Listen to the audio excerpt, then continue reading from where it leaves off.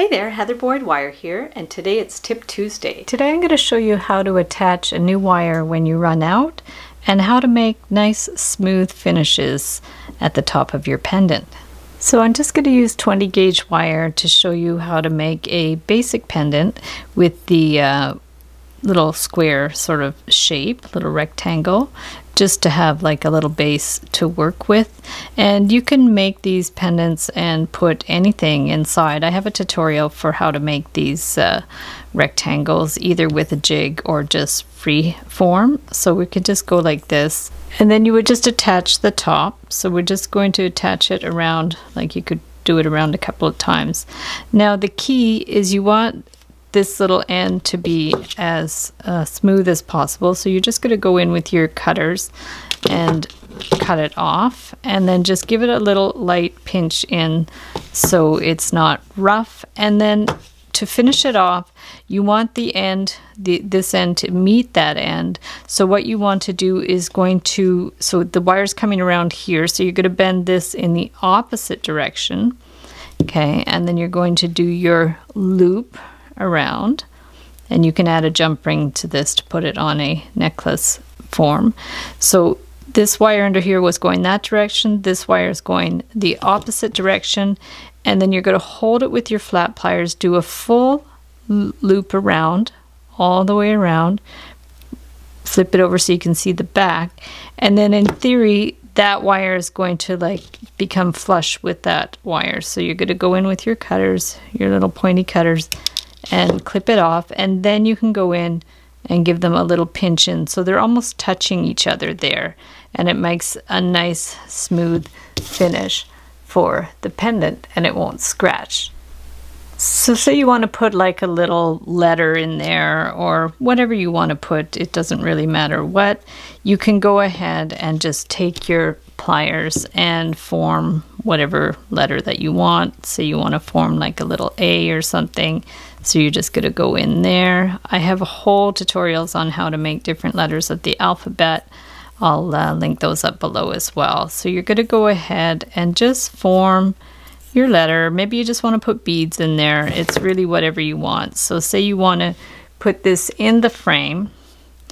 And if you want it to be, say, up about here, you're going to twist it around. You're going to hold this in place. So hold it firmly and bring this around through here. So just do the one side first and then say you want to do this side here. If you find your wire is very stiff and you need some help to give it a little starting point bend, hold it gently with your round pliers and give it a starting bend. And that's just going to help so it won't get so distorted when you twist it in place. So we're going to hold it here and then sometimes it's helpful to use your pliers to wind it around. Now, if you want to it to be suspended, say about here, and you don't want it to like go back and forth, there's two options. You can just clip them and pinch them gently in place. But if you're worried that it's still going to go up and down, I like to just continue the wire down. So we're just going to bring this. So sometimes I like to just bring it down a little bit further. And then if you twist it around the corner here, around the corner, and then even you could do it another time around here to the back. The advantage of that is it's not going anywhere. It's not going to slide up and down by any means because it's really anchored on that corner. So we could do the same thing here. Bring this down, make sure it's in the right position, and then bring it around the corner. Bring that here. My end was a little short, but just for demonstration purposes, it's okay.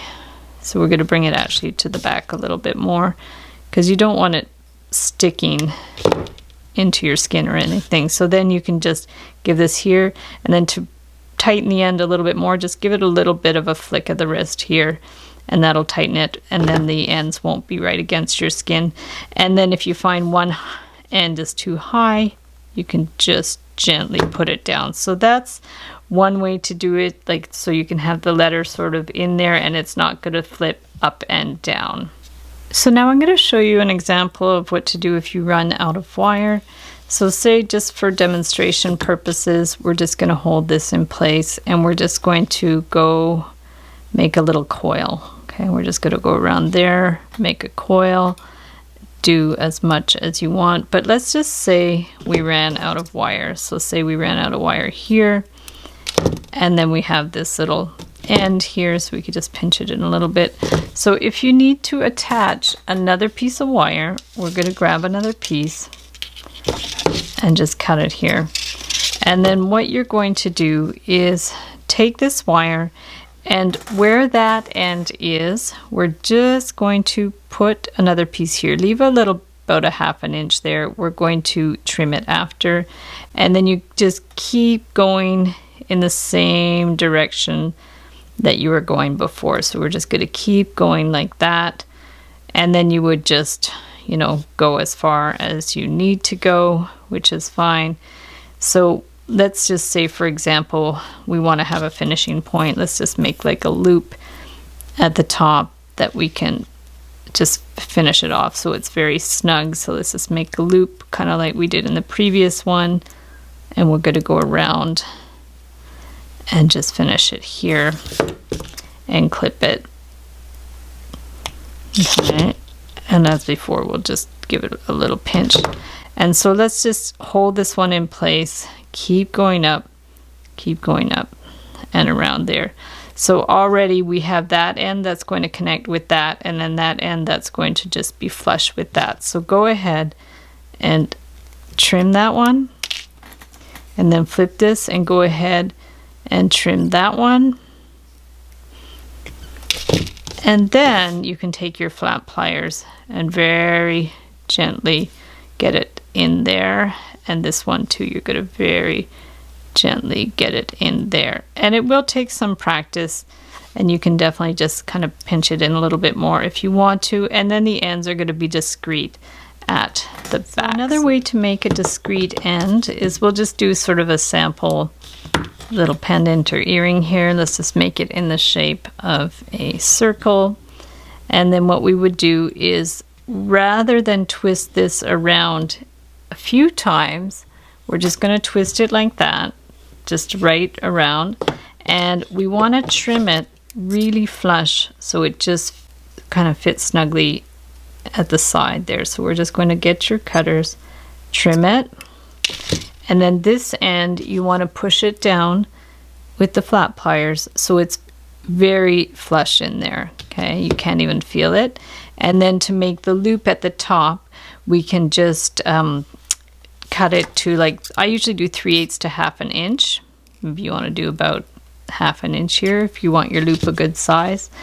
And what you'll do, this is nice and cut uh, very straight and flush. So bend this back at a bit of an angle. And then with your round pliers, just flick of the wrist, bring it in here. And it's going to sit very discreetly in there. And then if you need to push it a little bit, this is great for just little plain little earrings or something. And you just have a simple loop and there's no ends to scratch. So thanks so much for watching the video. Give it a big thumbs up if you liked it. Be sure to subscribe to my channel for lots more wire art and jewelry making videos. Hit the notification bell to be notified when I go live and when I post new videos.